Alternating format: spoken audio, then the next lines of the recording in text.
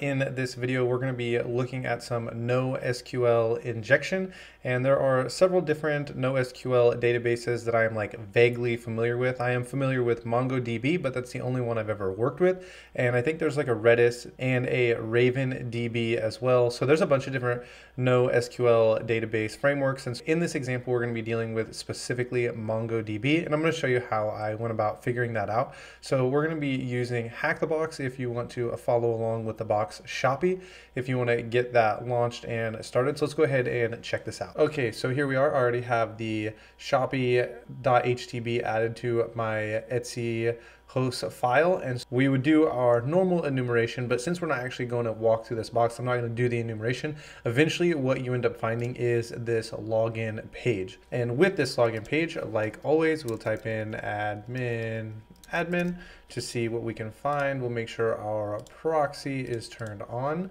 We'll intercept the request. We will send it to repeater. It will tell us that we had the wrong credentials.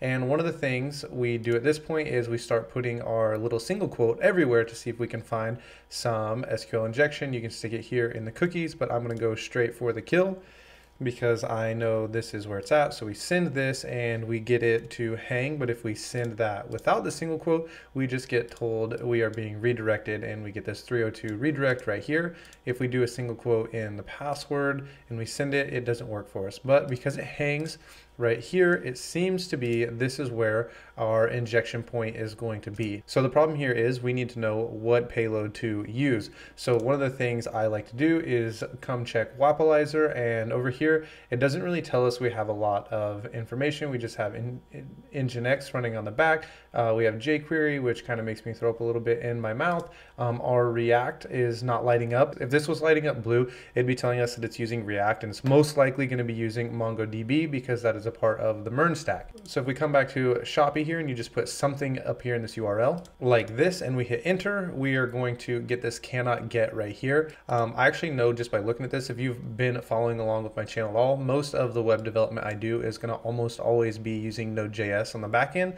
And with Node.js, typically you use MongoDB, but I use SQL because that's what I'm familiar with.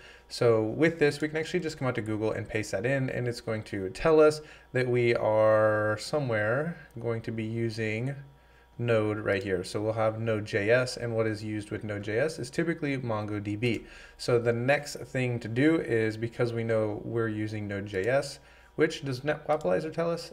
No, it doesn't. It just says Nginx. So we have Node.js running on the back end, which most likely is going to go with MongoDB, which is no SQL injection. The next thing to do is go to Google, just like this, SQL injection, and we want MongoDB because we're running Node. And I guess we can say examples and see what comes back. We have this top one right here. And let's scroll down and see. I actually don't think this has what we want inside of it. So we'll go back. We type in payload right here, see if we get anything different. So we type in our payloads. Uh, pretty sure we checked null sweep. Let's see if its cheat sheet works any better. And finally, we hit a payload. So we'll just go ahead and copy this. These double pipes stand for or one equals one instead of actually typing it in like we would with SQL injection. And we got our single quote and we can paste this in right here. I believe we need URL encoding, which is gonna be control U on a Mac. And if we send this, it now says we're being redirected to admin. So we can copy this payload right here, come back to our box and we'll intercept again.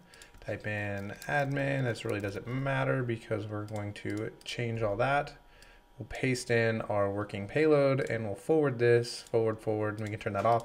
And we are now logged in here on the admin panel. So that would be an example of Node SQL injection. If you have any uh, questions, please let me know down in the comments. That is kind of how I would go about enumerating and finding the injection point and then finding a payload that is working if I was not familiar with Node.js or MongoDB. So if you have any questions, please let me know down in the comments and I'll see you in the next video.